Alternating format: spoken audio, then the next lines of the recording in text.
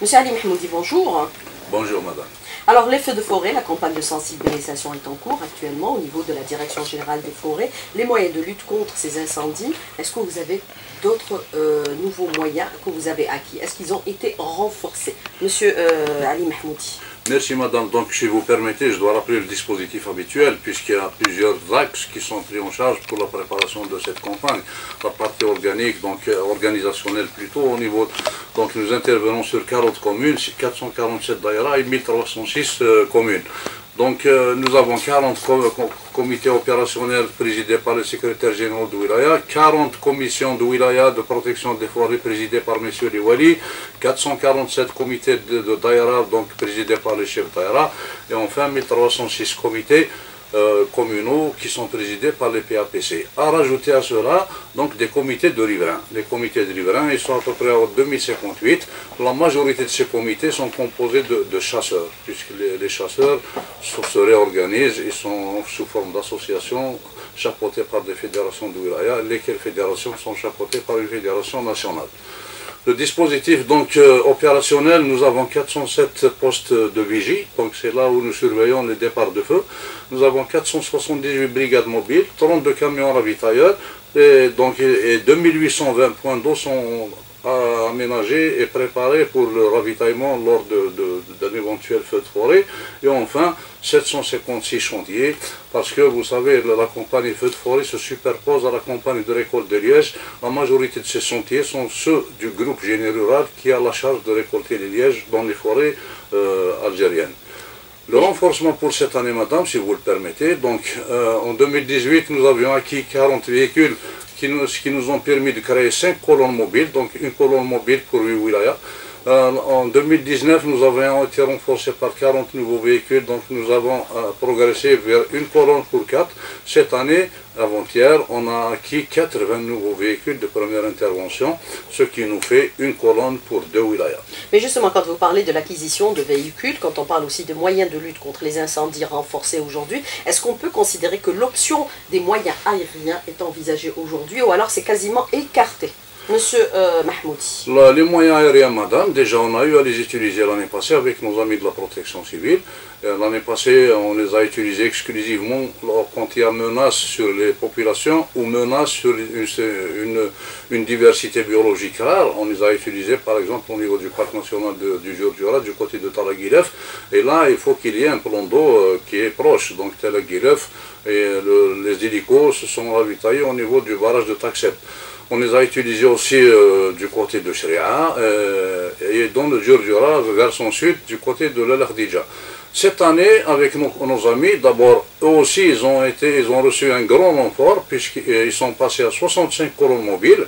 Il y a des wilayats qui vont bénéficier de trois, à l'image de Tizi Ouzou, trois colonnes mobiles. Euh, de Médéa, par exemple, deux colonnes mobiles. Et d'après eux, ils vont mettre en opérationnel quatre hélicoptères bombardiers. Mais euh, est-ce qu'on peut considérer aujourd'hui, avec l'expérience acquise euh, par le passé, où on est passé carrément des incendies, euh, c'est-à-dire naturels, à des incendies volontaires? Vous parlez un peu des moyens de surveillance. Vous disposez actuellement de 407 postes de vigie, donc les postes de surveillance. Est-ce qu'on peut considérer qu'on est passé à une autre phase, c'est-à-dire les incendies volontaires qui se répondent un peu plus sur le territoire national? Malheureusement, c'est le cas, madame. là, pour cette année, déjà, nous sommes aujourd'hui nous sommes le, 24, le 24 du mois de juin, nous avons déjà enregistré 144 foyers pour une superficie de 381 hectares. Cette superficie peut se répartir donc en 100 hectares de forêt, 20, 120 hectares de maquis et 160 hectares de, de broussailles.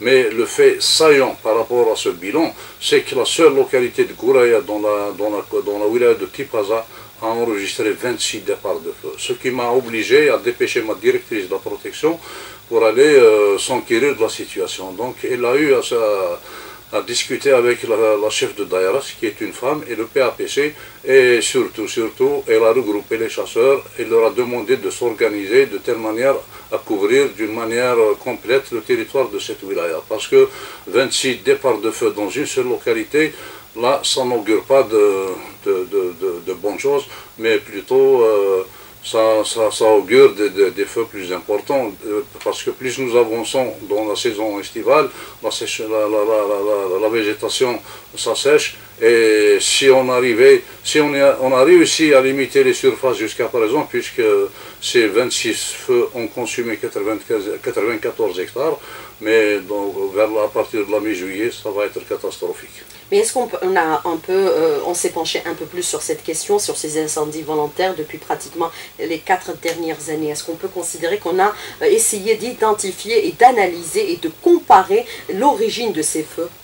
Pour ce faire, Madame, l'origine des feux, justement, nous avons un programme de coopération avec la FAO, avec un financement de l'ambassade du Japon, euh, qui a démarré l'année passée. C'est juste pour essayer d'étudier les causes. Parce que, jusqu'à preuve du contraire, dans les pays méditerranéens comme le nôtre, particulièrement dans la rive sud, les causes sont à peu près 85% de causes inconnues. Et là, euh, ça n'arrange pas les choses. Donc, on a engagé ce, projet avec des experts du sud de la France, des sapeurs-pompiers, des forestiers, d'anciens, qui sont en train de nous accompagner, sont en train de former des équipes euh, pluridisciplinaires composées de gendarmes, de, sapeurs-pompiers de chez nous et de forestiers. Tout ça pour aller vers des investigations afin de, de, définir les causes et attaquer le, le mal dans la racine, justement est-ce qu'on a pu réussir à définir qu'est-ce qui a fait qu'on soit parti euh, des feux ou des incendies naturels liés à la saison de chaleur avec la hausse des températures durant le mois de euh, juillet, août et septembre à des incendies aujourd'hui volontaires provoqués par des pyromanes? Oui, madame, bon, ma petite analyse personnelle en tant que forestier, je pourrais dire que c'est le retour, le retour au foncier. Euh, dans les années 80, tout le, tout le monde était dans les villes, donc l'attrait de l'industrialisation a fait que nos campagnes étaient vidées. Maintenant, avec le, donc l'industrialisation qui a plus ou moins, c'est-à-dire elle, n'utilise plus la même main-d'œuvre que jadis, donc ces gens-là sont revenus pour, se, pour essayer de, soi-disant, de, de, euh, de travailler leur terre mais beaucoup plus, c'est des, négociations immobilières, puisque surtout les wilayas côtières, les 14 wilayas côtières, c'est là où nous subissons de la pression. Les gens sont revenus, et l'Algérien, tout Algérien voudrait avoir un pied, un pied, quelque chose, les pieds dans l'eau. Donc les négociations immobilières ont pris de l'ampleur et ces gens-là sont revenus mettre en valeur, défricher, terrasser leur terrain et souvent par l'utilisation du feu. Et lequel feu? Euh, nos auditeurs, je, l'ai dit, je le redis, il faut qu'ils sachent que le feu, pour qu'il y ait feu, il faut qu'il y ait trois éléments, ce que nous appelons communément le triangle du feu. Il faut qu'il y ait ce qui devrait brûler, le combustible, l'oxygène et l'étincelle. Donc cette, cette personne-là, il met le feu pour euh, se débarrasser de, de la végétation sur sa parcelle, mais il ne sait pas que le feu fait un appel d'air, un, appel d'oxygène, lequel appel d'oxygène crée un mouvement d'air, lequel, lequel air le pousse dans des superficies dont il n'avait peut-être pas l'intention de les conduire. Mais est-ce qu'on peut considérer dans le contexte actuel, il faudrait aujourd'hui conforter la DGF en moyens renforcés pour lutter contre ce phénomène, les incendies volontaires, c'est-à-dire en moyens, en, renforçant bien sûr l'effectif de la DGF et bien sûr les doter de moyens de protection et de lutte contre euh, ces incendies, puisque vous avez annoncé euh, précédemment que vous souhaiteriez euh, armer à nouveau les, les équipes de la DGF, la Direction Générale des Forêts, ou les forestiers. Oui, exactement. Donc euh, l'État nous a accompagnés malgré les difficultés financières à nous équiper en moyens de première intervention. Je, je disais tout à l'heure qu'on vient d'acquérir 80 véhicules qui nous ont permis de créer 10 euh, colonnes mobiles. Donc nous sommes à 20 colonnes mobiles sur les 40 wilayas vulnérables. Dans notre stratégie, on aimerait en arriver à une colonne par wilaya, donc 8 véhicules par wilaya. Là aussi, les effectifs, il est vrai que lors du départ en retraite par passé, donc c'est une véritable série. L'année passée, le gouvernement nous a dégelé 1220 postes, 620 on les a recrutés, 600 sont destinés à, la mise en service de notre trois écoles, donc c'est la formation. Il y a 200 inspecteurs de brigade dans, l'école de Batna sur deux années et 400 agents de protection des forêts à raison de 200 par école, puisque nous en disposons de deux centres de formation, celui de Bnisliman dans la de Média et celui de Djidjel. Euh, pour, pour, revenir au, au, réarmement du forestier, oui, le forestier ils était ont été armé. désarmés durant les années 90. Voilà, ils ont été désarmés malgré eux, puisqu'on a, on a été obligé de, de, de, de, restituer nos armes, puisque nous ne sommes pas dans des casernements comme les autres corps euh, euh, constitués, les autres corps paramilitaires, à l'image de, la police ou de la gendarmerie. Nous, euh, les forestiers sont en plein massif et sont tout seuls. Donc vous imaginez un forestier qui était en plein massif de Gerouche, dans la maison forestière de Gerouche, dans la wilaya de Jijel, c'est une paroi des plus faciles par, rapport aux terroristes. Donc c'est ce qui a fait que les premières armes, je, je, dirais, qui ont été utilisées, les premières radios aussi, euh, sont, euh, sont, sont, les nôtres. On a été obligé de les restituer. Et donc maintenant, euh, nous demandons maintenant que, la sécurité est rétablie, avec, grâce aux efforts de notre armée, Madabina, le forestier Tana doit reprendre ses armes.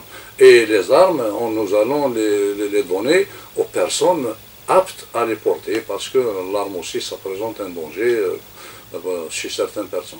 Mais sur cette question réarmer les forestiers, est-ce qu'on peut considérer que les pouvoirs publics sont favorables à cette disposition ou vous êtes encore en négociation et en discussion Nous sommes en négociation. Vous savez, la gendarmerie chez qui nous avions déposé nos armes, c'est un corps très discipliné. Dès, notre annonce depuis Gigel, là où il y a eu l'agression de, de, nos agents par les voleurs de Liège, si vous voulez, on en reparlera après, euh, ils ont réagi, puisque du côté de Tizi Ouzou et de Gigel, les groupements de gendarmerie ont réagi, puisqu'ils sont en train de faire l'inventaire des armes, parce que, madame, il y a certains euh, forestiers qui sont, qui sont restés armés jusqu'à présent.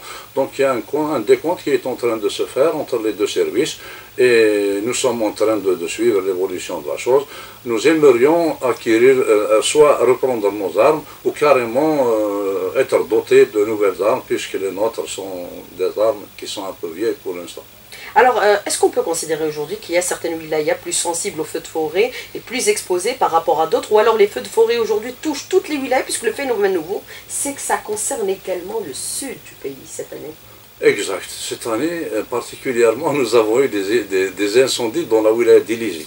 Nous avons enregistré deux ou trois incendies qui ont consumé une moyenne de 8 hectares. C'est nouveau. Et 8 hectares à Élysée, c'est 800 hectares de Tarf ou de Gigel ou de Skikda. Et nous avons ici le loi de Mzab.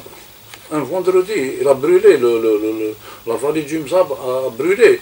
Et là, ce n'est pas des feux de palmeraie qui étaient connus depuis le temps. Hein. Là, c'est des tamarissés, c'est des roseraies, qui, qui, qui, des roselières qui ont, qui ont brûlé.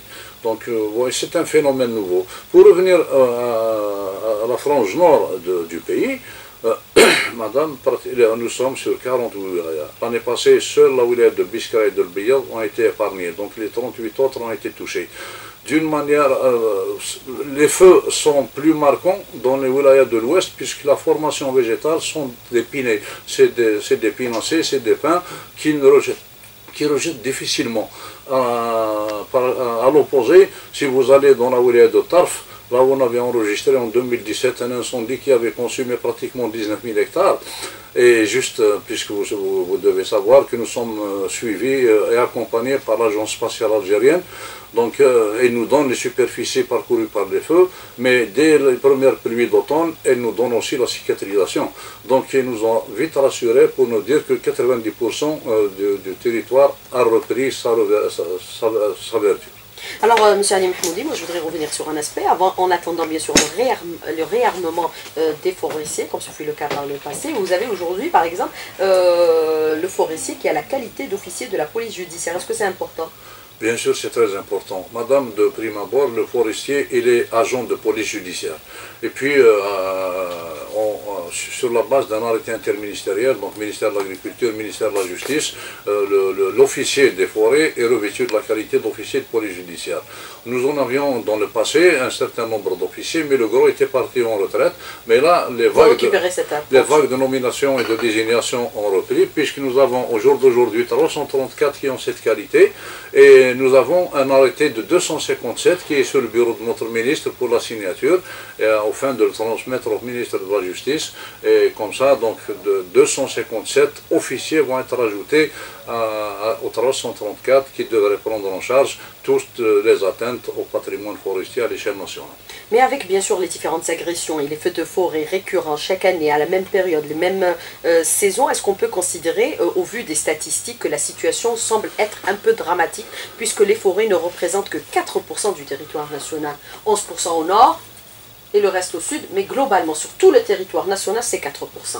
Absolument, madame. Par rapport à un pays continent comme l'Algérie, les 4,1 millions d'hectares de forêt ne représentent pratiquement rien. C'est une infime euh, proportion de, couverture. Et encore, l'état de dégradation de ces forêts, suite à la décennie noire, beaucoup sont des, maquis, des maquis arborés, donc il nous reste très très peu de forêts. Donc euh, et euh, si on superposait le réchauffement climatique et autres agressions, Là, euh, nous allons voir le, nos, massifs euh, disparaître. Mais ce qui est par rapport au phénomène incendie, madame, je rassure les auditeurs, puisque la moyenne des 20 dernières années était de 31 000 hectares de, parcours, de surface parcourue par année.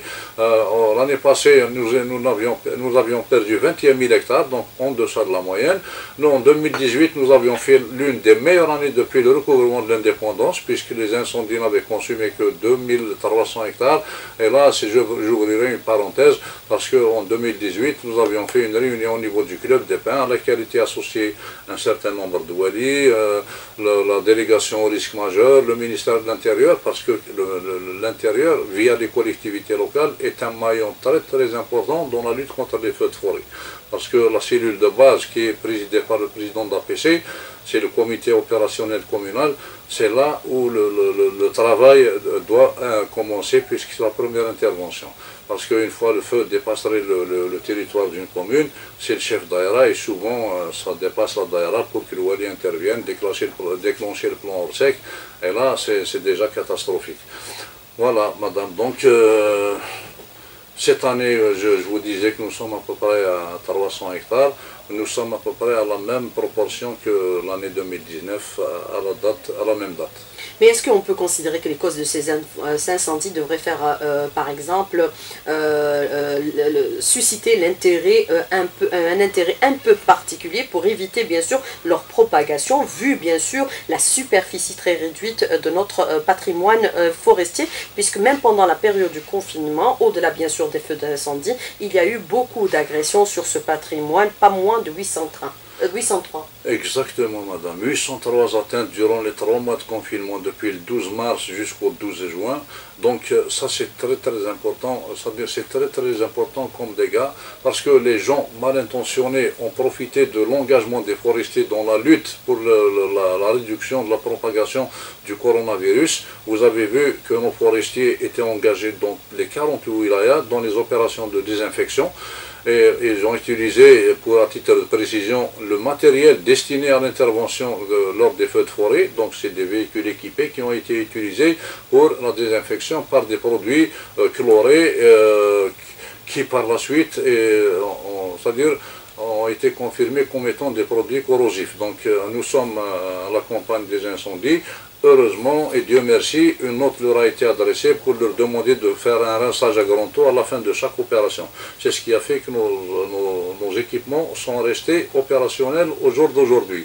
Les forestiers aussi étaient engagés dans l'accompagnement des populations qui étaient reculées par avec le mouvement associatif, les, agriculteurs qui ont beaucoup contribué via les chambres de l'agriculture par des dons en denrées alimentaires, en produits agricoles. Donc des forestiers ont participé à la, distribution de, ces dons. Malheureusement, en parallèle et à côté, donc des personnes mal intentionnées ont procédé carrément à des lotissements là, dans la commune de Cherchel c'est un lotissement d'une parcelle forestière pour, pour, recevoir des constructions. On a eu des, phénomènes de carbonisation dans la ville de Melbouaki où nos agents ont été, euh, euh, c'est-à-dire les pistes ont été piégées par des clous de telle manière à provoquer, à provoquer des crevaisons pour les véhicules d'intervention.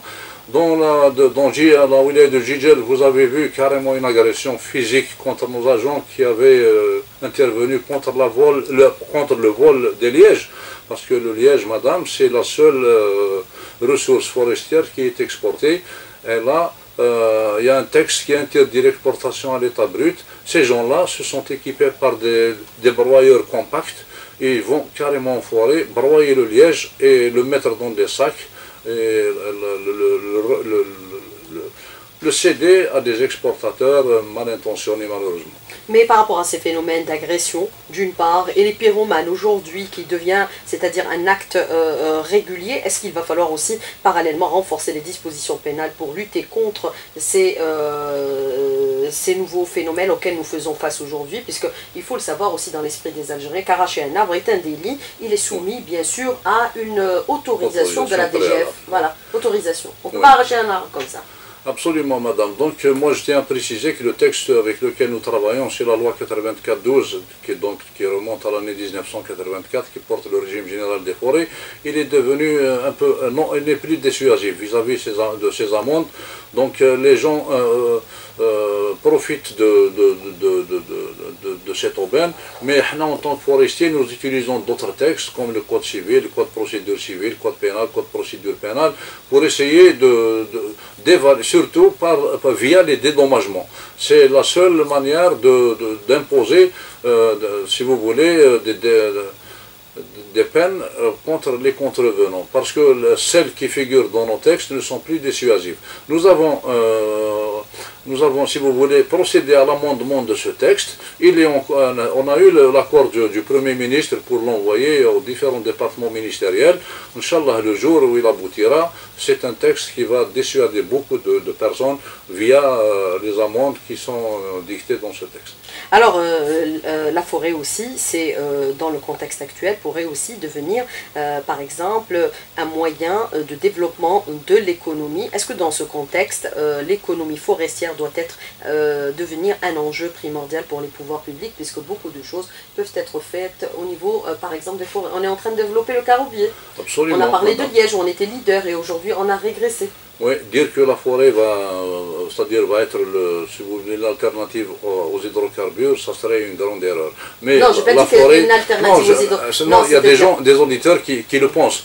Donc la forêt doit contribuer à l'économie nationale via un certain nombre de produits. Vous venez de dire le liège. Depuis tout le temps, notre liège a été exploité et exporté. Il y a deux pays euh, principaux, l'Italie et, le, le, Portugal, qui sont acquéreurs. Maintenant, il y a les Chinois qui, qui commencent à utiliser le, liège. Mais malheureusement, les quantités euh, se voient réduites d'année en année, puis suite aux incendies de forêt le liège est important pour l'isolation déjà thermique. Bien sûr, c'est un, un, produit écologique parce qu'aujourd'hui, nous utilisons du polystyrène. C'est comme euh, quand on utilisait, si vous voulez, dans le temps, de, de, l'amiante ciment. laquelle amiante ciment aujourd'hui, euh, il, est, il est prouvé qu'il est cancérigène. Euh, nul ne peut se prononcer sur les, effets de, ce polystyrène dans un avenir très proche. Par contre, si on utilisait du liège, là, on est sûr qu'il n'y aura pas de répercussions sur la santé humaine. Les deuxièmes produits, c'est les plantes aromatiques et médicinales nous sommes prêts à accompagner cette filière qui est organisée en Conseil national avec euh, la domestication de certaines espèces, parce qu'utiliser le spontané pourrait provoquer la disparition irréversible de ces espèces. Il y a l'arganier oui, il y a un arrêté du 31 mai passé euh, qui a institué trois nouvelles filières dans le secteur des forêts. La première, c'est celle du caroubier, la seconde, c'est l'arganier, la troisième, c'est le safran. C'est des espèces qui peuvent être développées dans des espaces forestiers. Si je reviens au caroubier, oui, c'est une culture d'avenir. Pas loin qu'hier, nous avons installé un comité composé de chercheurs donc il y a les chercheurs de l'École nationale des sciences agronomiques, nos institutions, nos instituts de recherche comme l'ITAF, l'INRA, euh, on, a, on a même associé le, président de l'Association nationale des, exportateurs algériens, euh, donc évidemment le plus grand promoteur opérateur dans cette filière qui est la SAR Boublenza le comité va, en tant que DGF, nous avons arrêté une feuille de route. Déjà, pour la, entre 2020 et 2023, nous avons plus un million de plants de caroubiers qui vont être plantés dans le cadre du contrat programme que nous venons de confier euh, au groupe Général Et voilà, donc on aimerait voir des particuliers s'intéresser à cette culture, puisque les, débouchés sont garantis euh, pour l'exportation. Et la salle Boublenza est en train de valoriser, puisqu'elle fait de la transformation, donc tout ce qui est valeur ajoutée, c'est-à-dire elle est fait au niveau de à Tlemcen, dans les usines de Boublenza. Et puis ça permet à la fois la création de la richesse et la création d'emplois, puisqu'on voit que pour le caroubier algérien, il est sollicité au niveau des plus grands euh, laboratoires de cosmétiques euh, à travers euh, le monde, notamment en Europe, et c'est là où est implantée la salle Boublenza. Alors, autre question de l'auditeur qui vous dit aujourd'hui, par exemple, est-ce qu'on peut considérer que, ayant perdu des parts de marché en matière de liège, est-ce qu'on pourrait les, les récupérer? Est-ce qu'il y a moyen par rapprocher euh, de la direction des forêts de telle sorte à l'exploiter. Monsieur euh, Oui, madame, il y a beaucoup de lièges privés. Malheureusement, euh, les, terres sont dans l'indivision. Là, nous butons sur le... Le, statut de ces terres Sur les... non, c'est pas sur les, sur les autorisations. Là, on ne peut pas autoriser l'exploitation d'un terrain privé dans l'indivision au, risque de provoquer des, des, querelles au, niveau de, la famille. Donc là, nous lançons un appel justement dans les wilayas de Skikdad, même à partir de Bjaya, à ces populations de faire en sorte à ce qu'ils aient des titres pour procéder à l'exploitation de cette ressource qui est euh, économiquement très très viable. Voilà, mais pour notre part, nous avons un projet de coopération avec la FAO qui va démarrer incessamment euh, donc, euh, pour la réhabilitation de cette ressource avec quatre wilayas pilotes, Djidjel, trois wilayas pilotes, Djidjel, Béjaïa et Tlemcen. Donc Djidjel, c'est la meilleure subrée euh, qui existe au niveau du bassin méditerranéen. Béjaïa, une subrée un peu, un peu dégradée. Et Tlemcen, c'est une subrée qui est dégradée de par des effets naturels et des effets de, l'humain. Alors vous avez aussi lancé la plantation un peu des amandiers, des euh, pistachiers. Est-ce qu'on peut considérer que ces filières ont de l'avenir dans notre pays? Rapidement, M. Mahmoudi, pour qu'on aborde des questions des auditeurs. Mais bien sûr, madame, le pistachier existe déjà. Il y a eu des essais dans les années 70. Vous allez du, côté, de, vous allez du côté de Saïda, il y a des, vergers de pistachiers qui sont productifs. Là où on parlait de l'arganier, là aussi, l'arganier, il faut qu'on le valorise. Là, l'arganier, il y a déjà une expérience à, à, à, Schlef. Nous avons de l'arganier à Mostaganem. Nous avons de l'arganier juste à côté d'Alger, du côté de Barraqi. Nous avons de l'arganier au niveau de la Oulia d'Adrar, spécialement avec l'administration pénitentiaire. Et nous comptons la développer dans la de Naama et autres espaces qui conviendraient à cette, à cette espèce. Alors, euh, beaucoup de questions d'auditeurs, monsieur Ali Mahmoudi. Alors, euh, dans les quartiers en cisaille des arbres, juste pour avoir le signal d'antenne satellitaire, la parabole sans autorisation, à qui doit-on nous adresser? Madame, au niveau de toutes les wilayas, il y a une direction des forêts de la wilaya. Euh, alors, dans les périmètres urbains, à titre de précision, la procédure comment devrait se faire. Dans le périmètre urbain, le premier responsable, c'est le président de l'APC, parce que l'administration des forêts ne peut délivrer d'autorisation d'abattage ou de couronnement sans l'avis préalable du président de l'APC. Donc, une association, une, une cité doit s'adresser à la, collectivité pour recueillir l'avis favorable et aller vers la conservation des forêts pour la formalisation, pour délivrer ce qu'on appelle communément une décision de non-opposition. Parce que si on produisait du bois qu'on devrait transporter sur une route, il faut qu'il y ait un permis de colportage, faute de quoi le bois et l'engin qu'il transporte vont être saisis. Alors euh, j'ai demandé euh, des arbres au niveau de votre service forestier de Bebzouar euh, pour bien sûr les planter au niveau de mon quartier, du côté de Bebzouar. bien sûr, j'ai côté des signatures des voisins, mais il n'y a pas eu de réponse de la part euh, de votre service. Que faut-il faire aujourd'hui, monsieur Ali Mahmoudi? C'est vrai qu'on devrait mettre des arbres dans tous nos quartiers.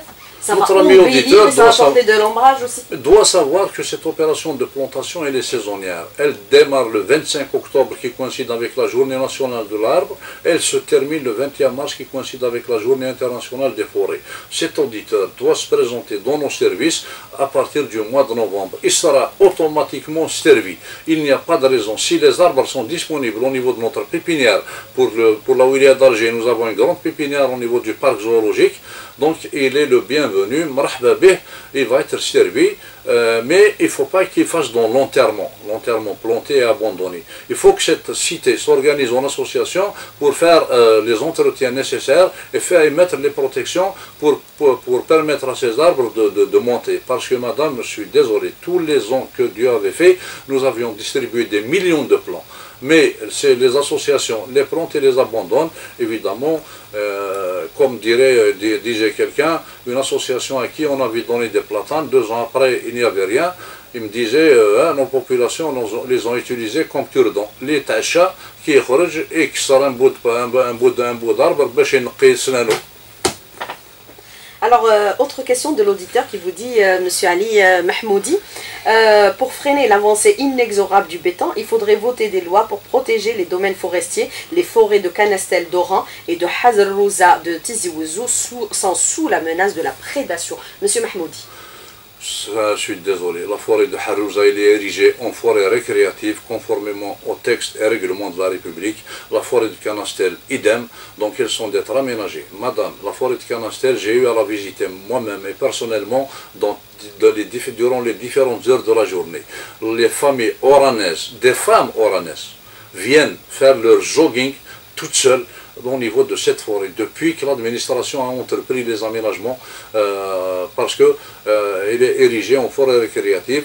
Donc c'est une forêt qui été réservée pour une certaine, euh, un certain nombre de personnes à l'époque. Maintenant, il est ouverte à tous les Oranais. C'est des femmes oranaises. Même l'actuel ministre, notre actuel ministre de l'Environnement faisait son jogging matinal euh, au niveau de cette forêt et elle a ramassé même les déchets. Alors, euh, autre question de l'auditeur qui vous dit aujourd'hui, monsieur Mahmoudi, les forêts du Bosquet en plein ville de Sidi Bel dans un état lamentable, on a sollicité les responsables des forêts, mais euh, rien depuis plusieurs années. Oui, Belabès, euh, je lui concède ce constat. Euh, depuis 2012, disons 2013, Belabès a eu beaucoup, beaucoup d'incendies. Rien que l'année passée, dans la, commune de Mérine, nous avons eu une série d'incendies. Et ce qui est la, particularité de Belabès, comme je l'avais dit tout à l'heure, c'est une wilaya de l'ouest de notre pays. Les formations sont à base de pain d'Alep. Le pain d'Alep, c'est une espèce très inflammable et qui rejette très, très difficilement. Donc, le, les massifs forestiers de Blabès ont subi de très, très gros dégâts. Mais là, l'administration est en train de procéder à son assainissement. Il y a de la régénération quand il s'agit de vieux sujets qui ont brûlé. Et nous allons intervenir par des plantations euh, artificielles, là où la régénération n'y est plus. Alors notre pays aride, semi-aride, exposé bien sûr au phénomène aujourd'hui de la désertification, l'avancée du désert, où en étant dans la réhabilitation du barrage vert, la ceinture verte, pour protéger le nord. Oui, nous avons un, projet de reprise du barrage vert sur la base d'une étude qui a été élaborée par le Bureau national des études pour le développement rural, cette fois-ci, c'est une version améliorée du barrage vert, puisqu'il y aura même le volet économique qui sera pris en charge par des espèces rustiques telles que le pistachier, comme vous l'aviez cité, euh, et d'autres espèces euh, qui résistent à ces conditions. Mais nous tablons beaucoup d'espoir sur l'office qui vient d'être créé, qui va être créé, l'ODAS, l'Office de développement de l'agriculture saharienne, pour voir euh, pousser des vergers euh, d'arboriculture fruitière, parce que le plus important pour nous, c'est de voir des arbres de toute nature soit-elle, euh, qui contribueront donc à l'atténuation des effets du climat et freiner éventuellement l'avancée des sables. Alors aujourd'hui, ce qui est regretté et ce qui est dénoncé aujourd'hui un peu par, par exemple les services de la protection civile, c'est quand il y a déclenchement d'un incendie, les accès au niveau, par exemple, de ces foyers sont parfois inaccessible. Qu'est-ce qu'il est fait pour améliorer les accès Madame, on a, on a une étude du Bureau national qui nous a défini la densité de, en matière de, pistes et d'accès. Cette étude nous donne 2 km pour 100 hectares. Beaucoup de wilayats ont dépassé cette norme. Euh, par exemple, il y a 2,4 km aux 100 hectares. Euh, ce qui est le problème qui se passe avec nos amis de la protection civile, euh, c'est que souvent ils ignorent un peu les tracés. Mais la particularité pour cette année, nous avons décidé d'un commun accord pour qu'ils fassent la prospection préalable. Donc les agents, de, les responsables de la protection civile, ceux des sortent sur terrain avant le début de, de la campagne. Ils ont parcouru toutes les pistes, ils ont vu tous les points d'eau. Euh, comme ça, donc ils seront préparés euh, par rapport à la campagne 2020.